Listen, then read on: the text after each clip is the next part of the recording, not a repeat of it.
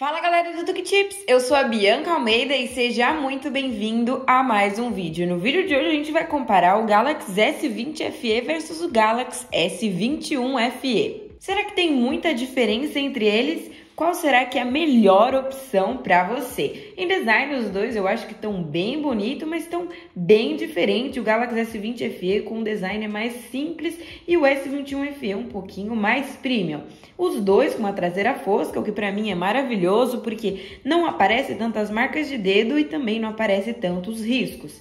O Galaxy S20 FE é mais fino do que o Galaxy S21 FE, os dois são super bonitos. Ambos contam com a tecnologia aqui desbloqueio na tela e não contam com entrada para fone de ouvido. Ambos contam com alto-falante estéreo e entradas para dois chips e não tem entrada para cartão de memória. Em design, os dois estão se saindo super bem, ambos com três câmeras traseiras super bonitos. Eu acho que eles estão se saindo super bem em design. Deixe aí nos comentários qual é o mais bonito na sua opinião.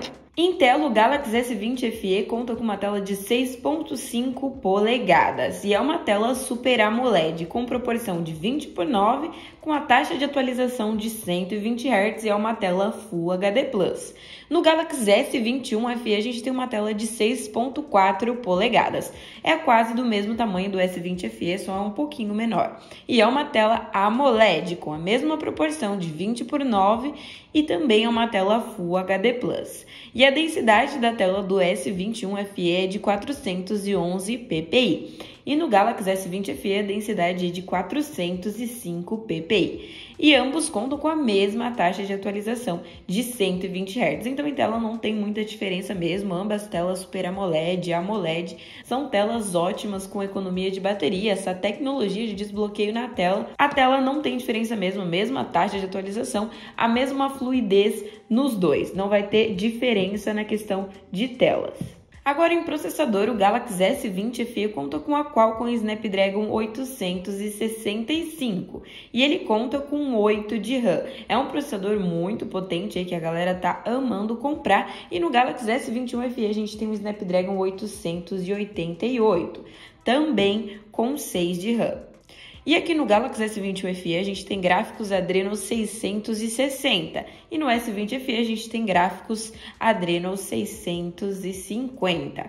Ambos processadores são super potentes, como vocês estão vendo aí, e se teve uma melhoria, teve sim no Galaxy S21 FE, ele veio mais potente do que o Galaxy S20 FE. Só que eu já vi muita gente reclamando, eu também já joguei algumas partidas no Galaxy S21 FE e ele realmente esquenta pra caramba. Não adianta ele ser mais potente do do que o S20 FE, sendo que ele esquenta e parece uma bola de fogo na mão, não adianta, porque ninguém quer jogar com o smartphone pegando fogo na mão. Mas ele teve uma melhoria aí sim, o Galaxy S21 FE bate cerca de 634 mil pontos no Antutu Benchmark, a gente mede a pontuação, qual for a maior pontuação é o melhor e no Galaxy S21 FE ele veio com 765 mil pontos. Deu uma aumentada aí, o processador tá um pouco melhor, mas no Galaxy S20 FE basicamente roda tudo também com tranquilidade. Os dois vão rodar tudo com a maior fluidez e tranquilidade, porque os dois têm a mesma taxa de atualização de tela, então as telas são fluidas igualmente. Não tem essa de ah, no S21 FE é mais fluido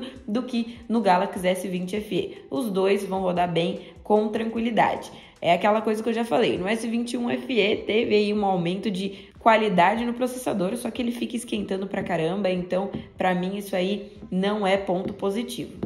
Ambos contam com um grande espaço de armazenamento de 128 GB, então vai dar para você usar aí por muitos e muitos anos. Agora em câmeras, manteve a câmera padrão do Galaxy S20 FE e do Galaxy S21 FE, sendo uma de 12 megapixels. Agora, no Galaxy S20 FE, a gente tem uma lente telefoto de 8 megapixels, uma lente grande angular de 12 megapixels. E a sua câmera de selfie é de 32 megapixels. E aqui no S21 FE, a gente tem uma grande angular de 13 megapixels, uma lente telefoto mais retrato de 8 e a câmera de selfie também é de 32 megapixels.